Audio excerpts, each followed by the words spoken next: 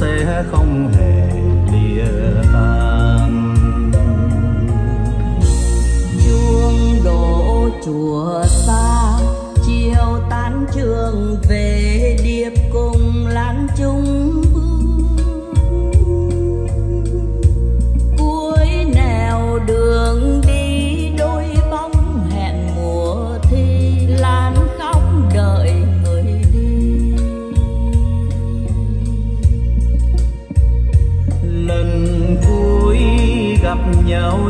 khẽ nói. Thương mãi nghe anh em yêu anh chân tình. Nếu duyên không thành điệp ơi lan cắt tắm quên đời vì anh Đấy, anh em nhìn nhé cái cấu hình của cặp uh, loa cây uh, 99 t win nhưng mà hôm nay nó là 99 t win x à, với cái dáng cây này thì ít ít anh em nghĩ được là em này nó cho cái chất âm à, những cái dòng nhạc vàng rồi. Nhạc xưa là hay như vậy nhé à, cái quan trọng là mình đang phối với âm ly gì. Đấy, à, cái à, cấu hình hôm nay sẽ hướng đến những anh em mà à, muốn thể hiện à, những cái bộ chơi nhạc vàng hay.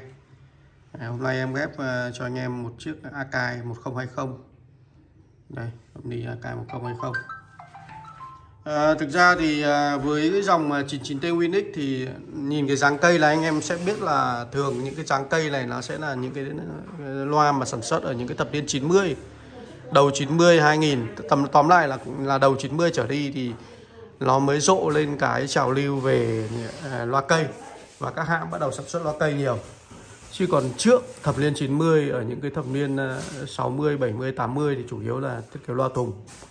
Đấy, bởi vì ờ, cái công nghệ nó làm nó nó thời đấy nó như vậy cho nên là để mà ra được tiếng bát thì thường người ta sẽ hướng đến những cái dòng loa mà cái lòng màng nó to. Đấy. Cho nên là thiết kế thường sẽ là hướng đến loa thùng. Còn sau những cái thập niên 90 thì công nghệ làm tốt hơn, đặc biệt như công nghệ từ, công nghệ làm thùng rồi những cái phần tụ trở cản à, thiết kế phân tần nó nó tốt hơn ấy. thì bắt đầu ra đời những cái dòng này hôm nay thì là cái cái cái clip mà để chứng minh cho anh em thấy là những cái dòng 99 t win.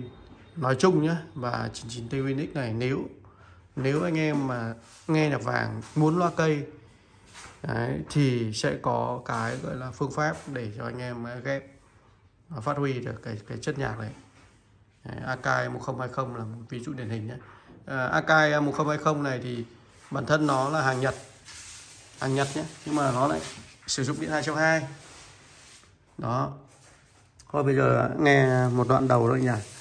Bây giờ thì cho anh em nhìn. Đây là 1020 này. Vỏ thì là vỏ gỗ. Đây. Vỏ trên này thì là vỏ gỗ. Ở đây thì nó có cái nhựa để nó làm những cái lỗ thoát khí để tản nhiệt. Âm ly thì thường nó sẽ có phần tản nhiệt. Mặt thì là mặt phay nhôm những dòng này là mặt phay nhôm dòng receiver mặt phay nhôm đây volume.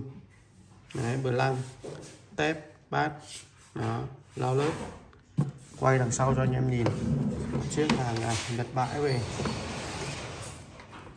À, sự ờ, khác biệt giữa giữa giữa cái dòng mà đổi điện thì anh em nhìn đây nó có in luôn này 240 AC công suất của em nó 170W đó sẽ rất là đẹp nhé 170W này. Đó. âm ly thì đẹp rồi. Bây giờ cho anh em xem cặp loa. À, với những cái cặp loa bãi mà nhất là những cái cặp này nó rất là nặng. Thì à, nói chung là cũng sẽ có xước sát. Không thể tránh được đây những cái vết này thì các vết này thì mình có thể spa nhẹ nhẹ được. Ví dụ làm tí vác ly và nó đẹp tại vì chất nó đã đẹp rồi những ờ, dòng này thùng nó nặng toàn trên dưới ờ, 80 kg ấy. Đấy, hai lỗ thở hai lỗ thở hai lỗ thở Đấy. đây là công suất của em nó Đấy. 180W 6 ohm ừ. Đẹp nữa anh em quan tâm cấu hình này để nghe nhạc vàng thì nghiên cứu cái bộ này những cái bộ này thì liên hệ với cái số zalo đây nhé, số hotline luôn đấy nhá. Xin chân thành cảm ơn các bác.